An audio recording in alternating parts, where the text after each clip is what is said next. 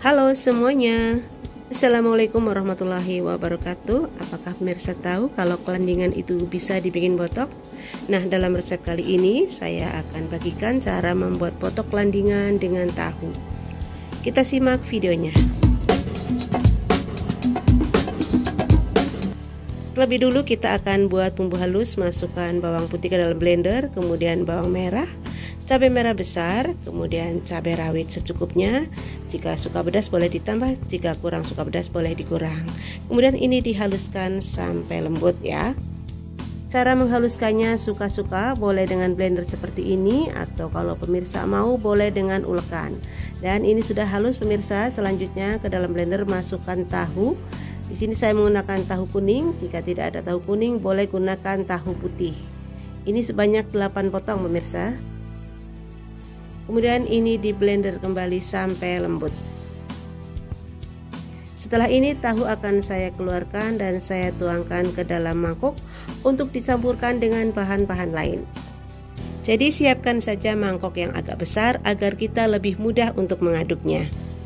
Sebetulnya sudah lama sekali saya ingin buat video membuat foto kelandingan Tapi karena kelandingan di tempat saya sulit dicari, sulit didapatkan Dan kebetulan hari ini saya mendapatkan kelandingan Jadi langsung saya buat video ini untuk pemirsa semua Padahal membuat foto kelandingan ini sangat mudah ya Cuma bahannya yang kadang-kadang sulit dicari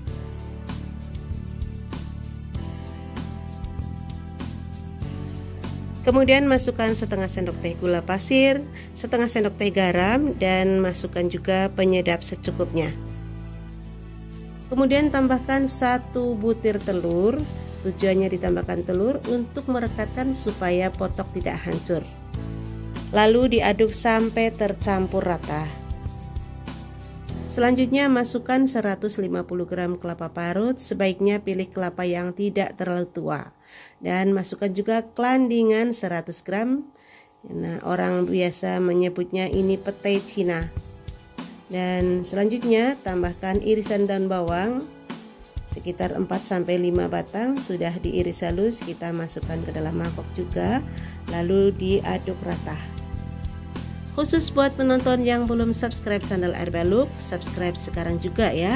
Aktifkan juga tanda loncengnya supaya pemirsa mendapatkan notifikasi setiap kali Look menayangkan video baru.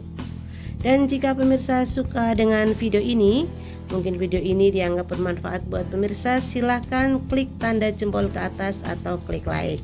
Terima kasih. Pemirsa wajib siapkan daun untuk membungkus dan pada tahap ini saya mulai panaskan kukusan.